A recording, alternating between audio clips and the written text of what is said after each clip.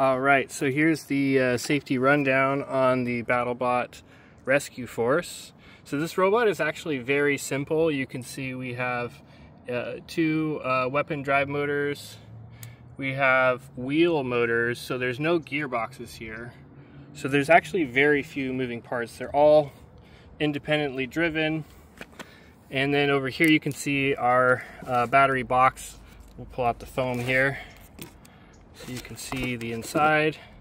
So the wires are pretty uh, organized and then the uh, speed controllers are encapsulated in wax for thermal protection as well as short circuit protection. Um, so you can see that we have our batteries, uh, they're uh, two six cell batteries wired in series. So we have 12 cells essentially.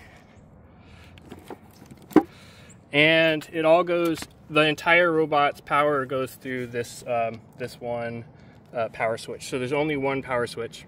So to activate it, so we would basically turn on the remote control, and then we basically crank this guy in, and we'll actually see some lights uh, turn on. And uh, we also we have safety pins that go through the wheels. I don't have those on the moment. And then we have a safety pin that restrains the, uh, the weapon from rotating, so this can't rotate. And then let's go ahead and just give you a little drive to show you that it works. There's no magic strings.